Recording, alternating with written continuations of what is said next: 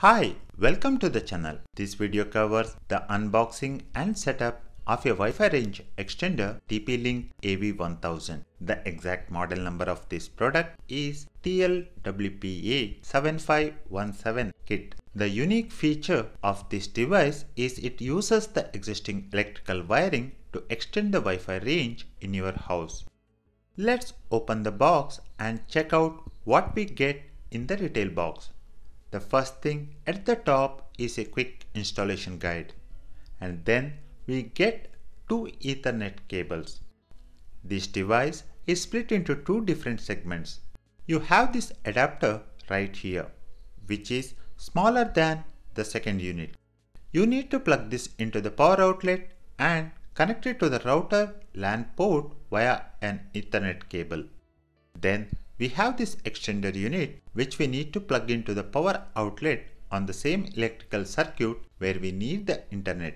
It will create a Wi-Fi signal with an Ethernet port on the left side to connect to devices such as computers, gaming consoles, etc. through a LAN cable.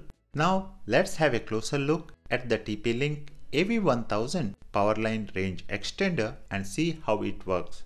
Based on the instruction manual, first we need to plug both the adapter and extender into the power outlet in the same room.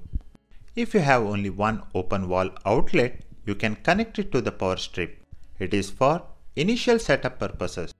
Once you are done with the setup, connect this adapter to the wall outlet and this extender in a different room where you want the internet Wi-Fi range. So let me plug the adapter and extender into the power strip.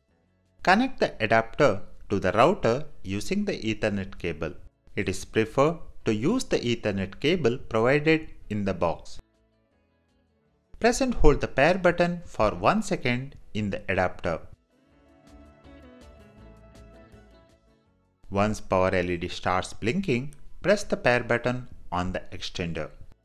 You can find it on the right side of the device.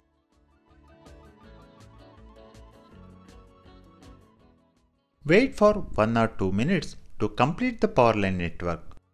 Once the pairing is complete, the blinking of LED lights will stop. Once the setup is complete, move the extender unit to the Wi-Fi dead spot and plug it into the power outlet. Connect to the Wi-Fi network using the default SSID. You can find the default SSID and password at the top of the extender unit.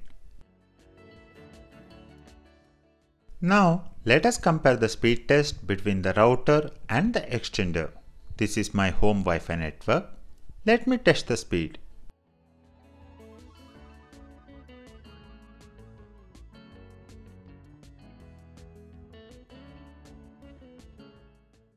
So this is my internet speed on the home router. Next, let me connect to the AV1000 and test out the speed.